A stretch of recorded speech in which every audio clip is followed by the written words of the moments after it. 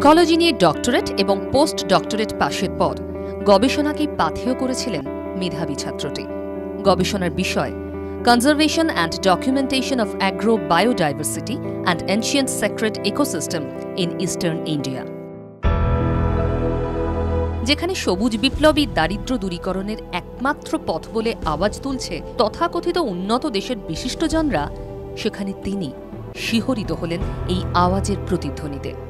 লক্ষ্য করলেন, এই আগ্রাসী বিপ্লব আসলে উপড়ে ফেলছে আমাদের অতীত, অস্তিত্ব ও ঐতিহ্যকে। উনিশশো সাতানব্বই, প্রতিষ্ঠা করলেন ভ্রিহি যার অর্থ চাল। ভারতের সর্বপ্রথম non government folk rice gene bank প্রায় এক হাজার দেশীয় ধানের বীজ সংগ্রহ করল এই সংস্থা, যা সবুজ বিপ্লবের দাপটে আজ গ্রাম বাংলা থেকে বিলুপ্ত। শুধু তাই নয়, নিজের গবেষণাকে আরও সুদূর প্রসারী ও বাস্তবমুখী করার লক্ষ্যে প্রথমে বাঁকুড়া ও বর্তমানে ওড়িশার নিয়মগিরি পাহাড়ের কোলে দু একর জমিতে তৈরি করলেন ফার্ম হাউস প্রত্যন্ত গ্রামের চাষিদের কাছ থেকে ধানের বীজ সংগ্রহ করে এই ফার্মে চাষ করা এবং সেই বীজ অন্য চাষিদের বিনামূল্যে চাষের জন্য পৌঁছে দেওয়াই হল উদ্দেশ্য।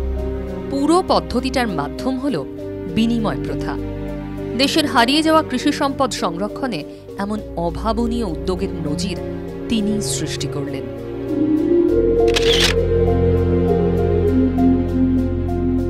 কেবল বীজ সংরক্ষণই নয়, তার গবেষণাকে বিস্তৃত করেছেন ecological agriculture eco forestry alternative energy use ecological architecture and techniques of water হারভেস্টিংয়েও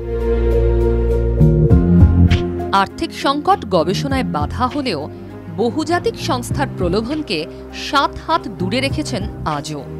তার গবেষণা বাঁচিয়ে রেখেছে আমাদের সমাজ, সংস্কৃতি ও অস্তিত্বকে। তিনি এক অনন্য গবেষক। তিনি ডক্টর দেবল দেব।